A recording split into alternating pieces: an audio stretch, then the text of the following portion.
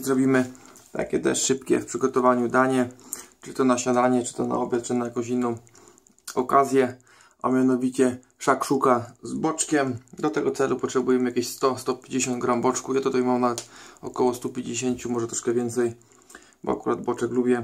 Pokroimy go drobną kosteczkę, przysmażymy na patelni.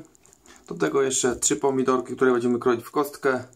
Do wbicia 3 albo 4 jajka, w zależności jak nam tego to wyjdzie.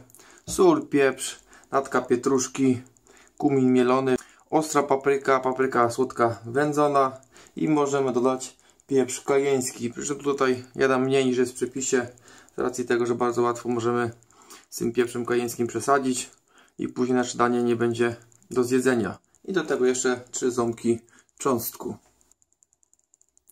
Tak więc zabieramy się za przygotowanie. Pokroimy nasz boczek w drobną kostkę, wrzucimy na patelni i będziemy go delikatnie podsmażać. Proszę się nie przerazić, że ten boczek dziwnie wygląda. Nie ma tych przejść tłuszczowych, bo jest to boczek z dzika, także tutaj też, też z racji tego inaczej wygląda. Oczywiście nasz boczek podsmażamy bez dodatku tłuszczu. No ja tutaj troszeczkę dorzuciłem masełka kakaowanego z racji tego, że tak jak widać nie ma w ogóle praktycznie tłuszczu. Jak mamy zwykły boczek wieprzowy, no to tutaj smażymy go na suchej patelni bez żadnego dodatku. Jak podsmażymy boczek, możemy nasz czosnek pokroić w plasterki i dorzucić w plasterkach, ale ja go przycisnę przez praskę. Nim nam się patelnia rozgrzeje, nam boczek się podsmaży, czosnek delikatnie już pod koniec dorzucimy, pokroimy nasze pomidorki w taką kosteczkę centymetr na półtora, tak żeby tutaj wszystko ładnie to wyglądało. Boczek się nam już troszkę podsmażył, także ciśniemy do niego trzy ząbki czosnku.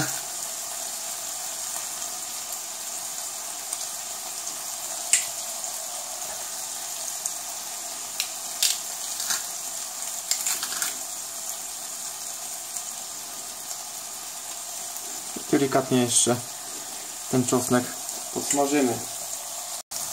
Czosnek z boczkiem nam już się elegancko przysmażył. Dorzucimy nasze pomidorki, które tak będziemy smażyć jakieś 5-6 minut. Tak żeby nam się nie rozleciały, fajnie wyglądały, a były miękkie.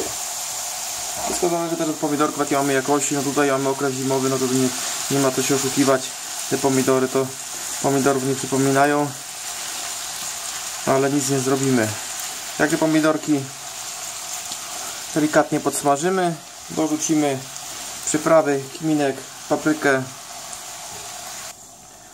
Jest to nic innego jak taka efektownie wyglądająca jajecznica w większym wydaniu, tutaj z jajeczkami wbitymi. Później już tutaj nie mieszamy tego wszystkiego razem. Najlepiej by było mieć jeszcze świeżą natkę pietruszki, później do udekorowania. Podajemy to na przykład z chlebkiem czosnkowym, czy z bułeczkami czosnkowymi, czy to na śniadanie, czy na jakąś inną okazję. Tutaj mamy fajne białkowo-tłuszczowe śniadanie. No teraz czas na przyprawy. Ja tutaj dorzucę jedną łyżeczkę papryki wędzonej.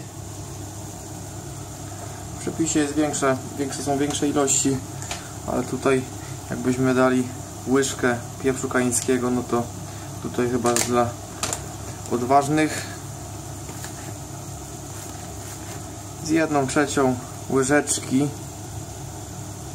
nawet mniej pieprzu kaińskiego. Tutaj ja nie będę ryzykował. Troszeczkę ostrej papryki to oczywiście już nie musimy możemy użyć albo samej ostrej papryki jak nie mamy pieprzu kaińskiego albo samego pieprzu kaińskiego. Jak mamy tak damy i łyżeczka kminku mielonego, tego kuminu. Wszystko jeszcze chwileczkę poddusimy. Teraz na patelni zrobimy troszkę miejsca, tak żeby może w różnych miejscach powbijać jajko. Tak to mniej więcej wygląda. Możemy wbić 4, jak lubimy więcej jajek. A tu myślę na taką porcję 3 jajka wystarczy. W zależności ile osób będzie to jadło. Teraz z góry troszeczkę doprawimy jeszcze pieprzem świeżomielonym. I dorzucimy troszkę soli.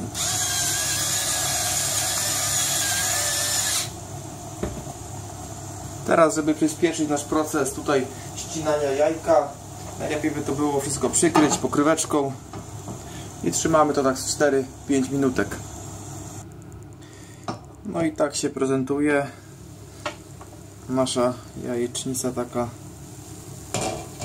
efektowna. Do tego jakaś natka pietruszki, oczywiście najlepiej świeża. Lewek. Ja tu mam akurat diofilizowaną. Chlebek czosnkowy i mamy ciekawe śniadanie. Podajemy najlepiej na takie patelnie, które smażyliśmy. Możemy fajnie nabrać. Jeżeli przepis się podobał, to się bardzo cieszę. Zachęcam do spróbowania i do następnego.